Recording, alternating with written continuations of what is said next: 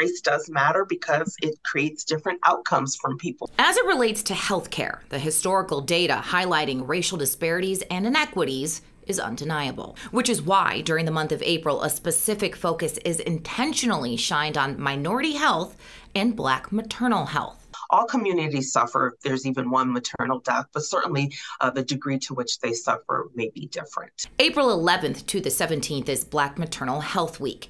And while the conversation surrounding the inequities that Black mothers face is relevant every day of the year, during this week, there's an even greater emphasis on empowering and educating Black moms on life before during, and after pregnancy. One maternal death really is one too many for our entire community. Dr. Dionne Dickerson has been a practicing OBGYN in Southfield for over 20 years and says there are a multitude of reasons black mothers are dying at such disproportionate rates. When we look at the people who are dying.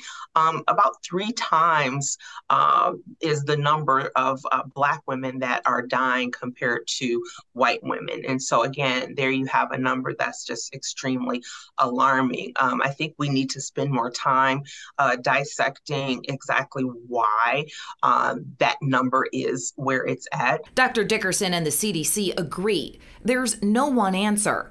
Lack of access to quality care, underlying chronic medical medical conditions, structural racism, implicit bias, and other socioeconomic factors collectively contribute, not to mention the growing need for more physicians of color. I get women uh, all the time that call the office specifically saying, you know, I am pregnant and, um, you know, I'm I'm scared. Um, I want to make sure that I have a black doctor because when I go into labor, I want to understand um, what is going on, and I want to know that I'm going to be heard uh, if I have a problem. All the more reason being proactive is just so important. In fact, the CDC says 80, more than 80 percent of pregnancy-related deaths are actually preventable. Liz Lewin, Fox 2 News.